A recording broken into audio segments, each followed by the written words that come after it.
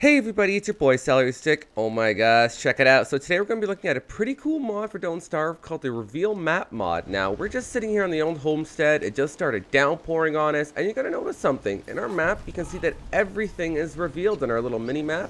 If you guys haven't seen the mini map mod, I got a mod video for that too. Check this out. So if I press tab, you're going to see that I can see the entire map. Now, you can actually see that this is a pretty small map.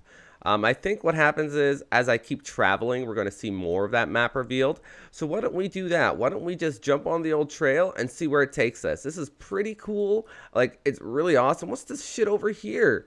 Like, I don't even know what that is. Is that Thulecite? Is that an ancient thing?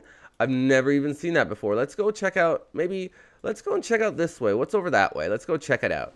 So here we are, we just traveled for a little bit, completely ill-prepared. I found some gold nuggets, and here we are crossing into this veil of the unknown.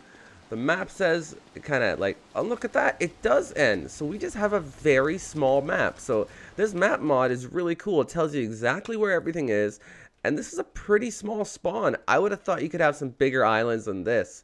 So there you have it, guys. The Reveal Map mod. Pretty cool, especially if you want to try to eliminate all the exploring from the beginning.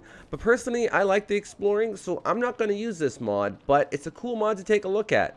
If you guys like Don't Starve videos, check it out. I got a lot of different Don't Starve mods on my channel, like, I don't know, almost 50 probably, and we're always making more. Thanks for watching, guys. Please like, favorite, and subscribe. I'll see you next time. Bye.